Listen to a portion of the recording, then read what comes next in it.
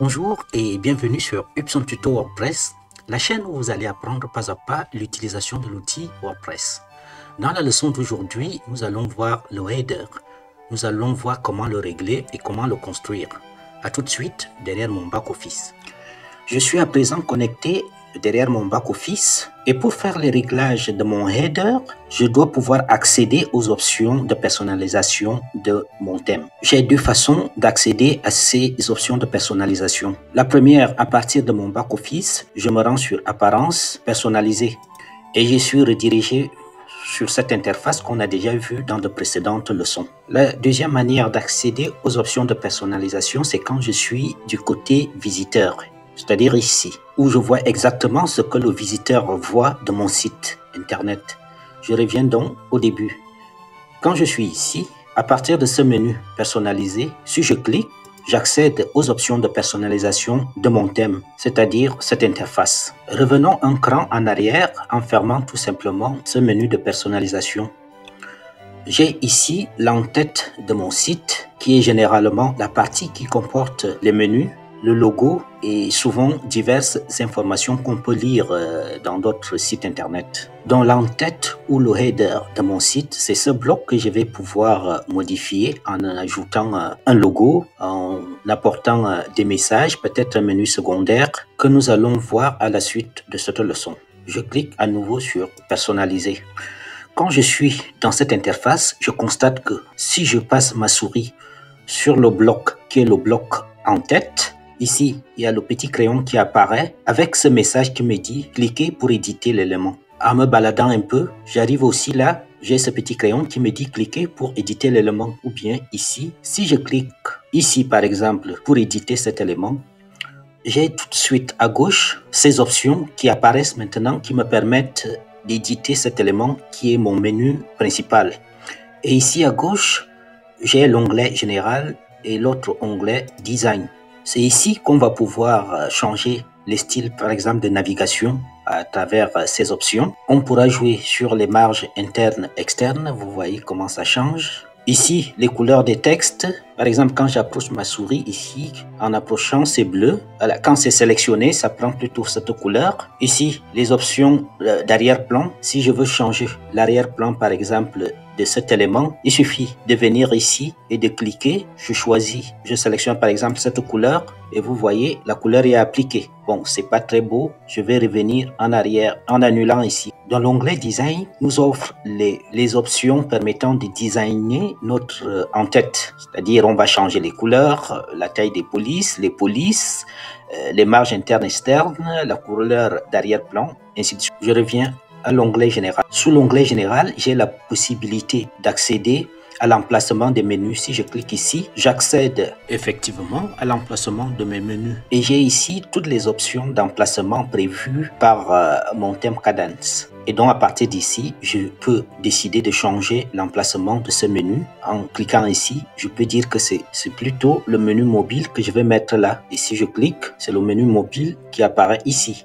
Je vais revenir en arrière et je suis retombé sur cette interface. De même, si je descends jusqu'au pied de page de mon site, je vois que j'ai les mêmes options qui apparaissent quand je passe la souris euh, sur un élément du pied de page. J'ai les petits crayons qui apparaissent et qui permettent de modifier l'élément qui est pointé. Je remonte la page pour revenir au header. Une autre façon de faire les réglages de mon header et de faire des modifications, c'est de prendre maintenant l'option Header. Je clique ici et je suis redirigé dans cette interface qui me donne toutes les, les options permettant de modifier mon header. Remarquez que j'ai toujours ici deux menus, le menu général et le menu design. Et lorsque je me rends plus bas ici, j'ai cet éditeur de mon header qui me permet de modifier mon header. Il est organisé en trois niveaux. Ces trois niveaux correspondent au niveau que je peux utiliser pour construire ici mon header. Sur les trois niveaux ici, euh, remarquez que chaque niveau est constitué et composé de trois colonnes. Et chaque fois que j'approche la souris sur une colonne, il y a un petit plus qui apparaît. Et si je clique sur le petit plus, il me permet d'ajouter des éléments que voici il y a Secondary Navigation, c'est-à-dire le menu secondaire, la barre de recherche, le menu social ou le menu HTML. Le menu HTML ici étant tout simplement l'option permettant de mettre euh, des textes, un message que vous voulez faire passer sur euh, votre site. Et ces éléments que vous voyez là sont exactement les mêmes éléments qu'on retrouve ici. Qu'est-ce que cela signifie? Ça veut tout simplement dire que lorsque je passe la souris ici, j'ai la possibilité d'ajouter un de ces éléments en cliquant sur le plus et puis ça m'ouvre ce menu contextuel ou tout simplement si je veux mettre un de ces éléments ici, je le prends et je le dépose. Donc, comme vous pouvez le constater, chaque fois qu'on prend un élément ici et qu'on le glisse dans une des colonnes ici, il n'est plus disponible dans la réserve là parce qu'il est déjà utilisé quelque part ici. Si je l'enlève ici en cliquant sur la petite croix, il revient dans la réserve. Si j'enlève le logo, il revient dans la réserve ici. Maintenant, si on revient sur notre en-tête, tout est organisé sur euh, un seul niveau. Ça se remarque ici parce que nous avons là l'élément de navigation et l'élément bouton qui sont ici sur euh, notre en-tête. Je peux d'ailleurs m'amuser à déplacer le menu pour le mettre ici. Il est maintenant là. Tout comme le bouton, je peux décider de le mettre là. À ce moment, vous voyez que l'entête est organisée en deux niveaux. Je remets mes éléments là où ils étaient. Ceci étant dit, on vient de voir les éléments de base qui permettent euh, de commencer à modifier le header. On va maintenant entrer dans les options de personnalisation de chaque élément. Je vais remettre ici le logo qui était là, même comme on l'avait pas encore mis. Je vais donc prendre, en cliquant sur la roue crantée, les options qui me permettent d'ajouter mon logo. J'ai donc ici les options qui me permettent d'ajouter mon logo. On me demande ici de sélectionner un logo. Je vais cliquer pour aller prendre une image. Je vais prendre ce logo-ci. Je prends, je le sélectionne et je clique sur sélectionner. Alors, quand il vous demande de recadrer, euh, ne recadrez rien.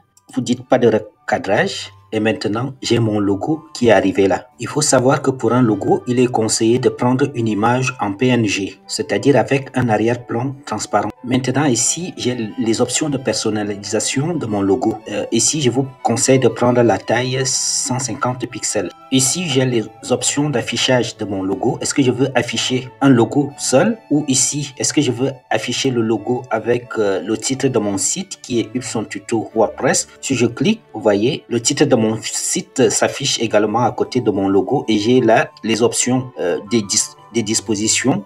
D'abord, le logo à gauche et le titre à droite. Ici, le titre à droite, le logo à gauche. Ou là, euh, le logo en haut et le titre en bas, ou ici le titre en haut et le logo en bas. Moi, je reviens ici tout simplement au logo. Ici, vous pouvez mettre un slogan pour votre site internet. Ici, vous pouvez ajouter le site icon.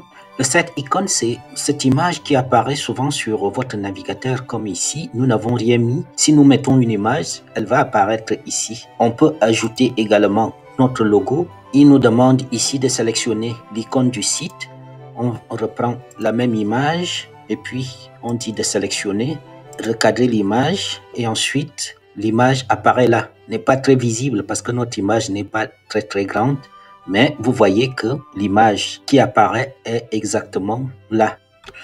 Une fois qu'on a ajouté l'icône de notre site, on va rentrer tout simplement en cliquant ici. Alors, je suis allé beaucoup plus loin. Je vais donc reprendre les options de personnalisation de mon logo. Donc, c'est ici que je voulais revenir.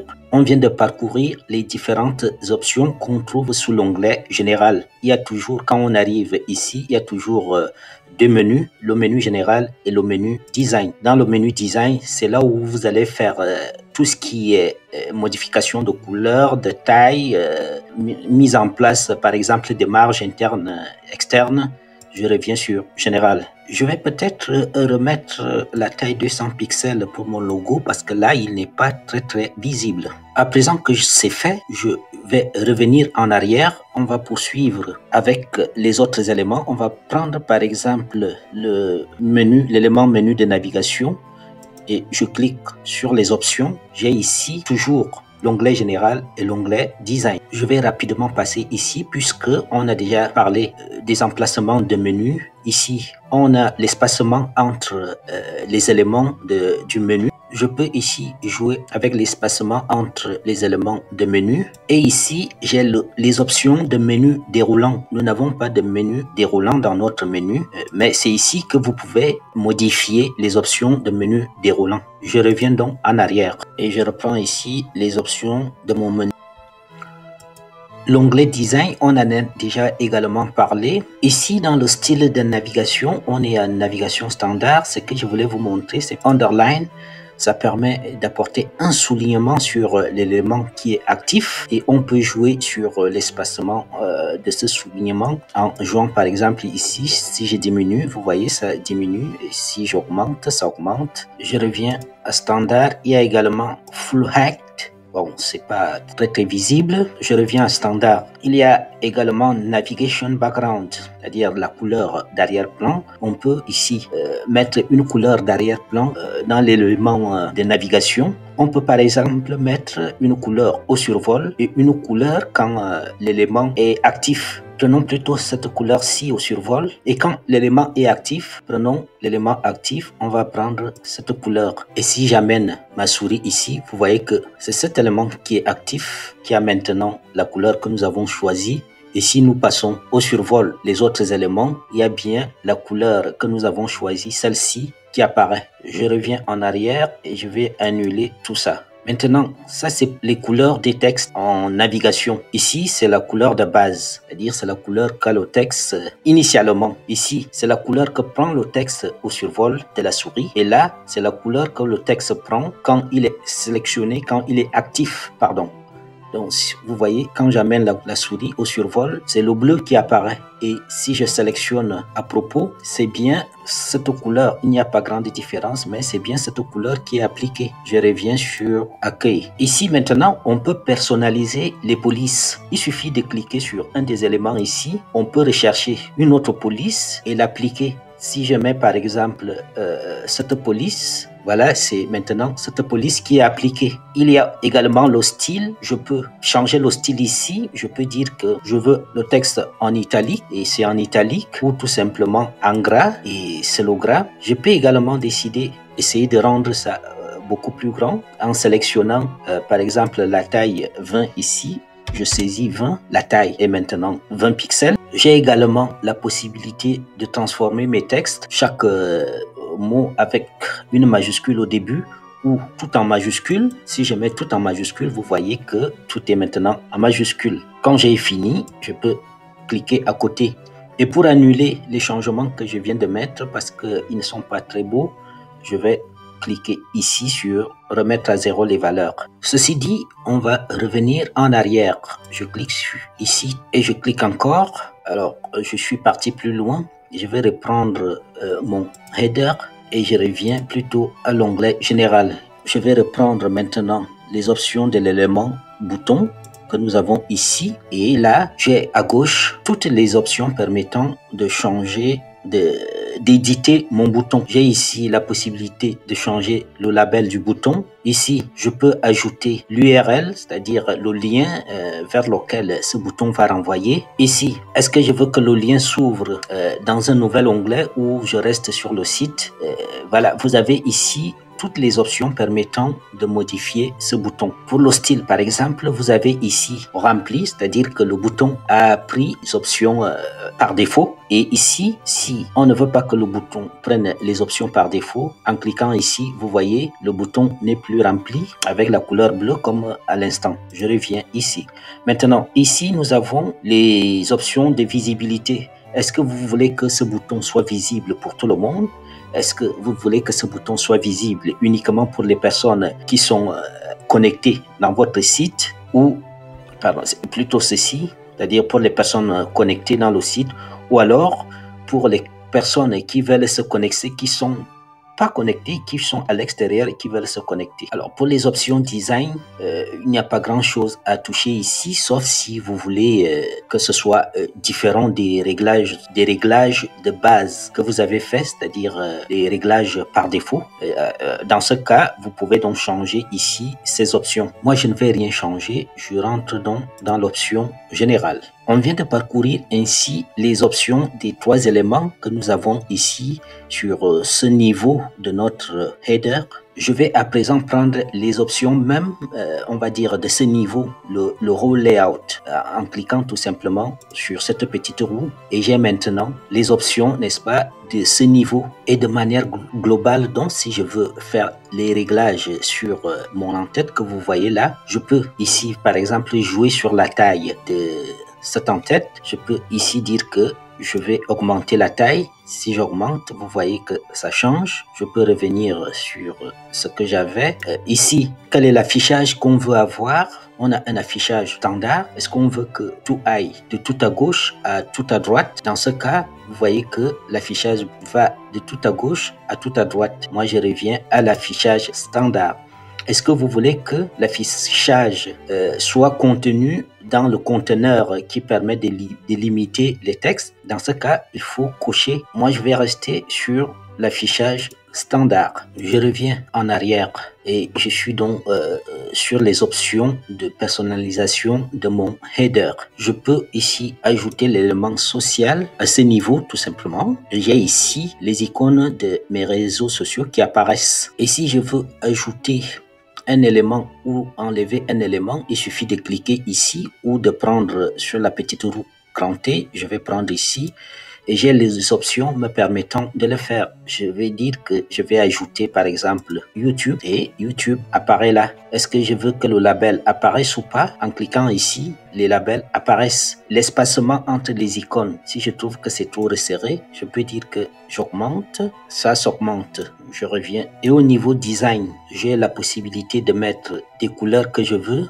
ou alors je peux utiliser la couleur euh, des marques. Si je dis que je veux la couleur des marques, je clique sur lui. Ce sont les couleurs de chaque marque qui apparaissent. Et vous avez aussi l'ensemble des autres options qui apparaissent là. Et si je reviens sur euh, l'onglet général, j'ai ici l'option permettant d'ajouter les liens donc pour Facebook je vais mettre le lien renvoyant à ma, à ma page Facebook pour Twitter également Instagram YouTube. Vous avez ici euh, la possibilité d'ajouter le lien pour euh, permettre aux utilisateurs de vous retrouver dans ces réseaux sociaux. Je reviens en arrière et je vais reprendre mon menu header.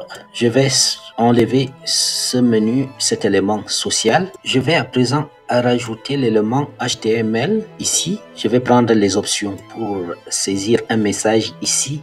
J'ai saisi, nous sommes ouverts 7 sur 7. Vous voyez le message qui apparaît là. Donc l'élément HTML est une option permettant d'ajouter euh, un message n'importe lequel que vous voulez faire passer. Et vous avez la possibilité d'éditer euh, votre message. Si je veux que le message soit en gras, je le mets, si je le vais en italique ou sous forme d'une liste à puce, je peux même décider que euh, sur ce message, je mets un lien HTML. Moi, je vais tout simplement enlever ce bouton et je reste avec euh, ces trois éléments qui sont organisé sur un seul euh, niveau. Et quand vous avez fini d'ajouter des éléments ici, d'éditer, de modifier votre en-tête, il faut tout simplement cliquer sur publier. Quand c'est publié, vos modifications sont enregistrées. Vous pouvez euh, repartir en fermant l'éditeur visuel de votre thème. Vous venez d'apprendre à construire et modifier votre en-tête.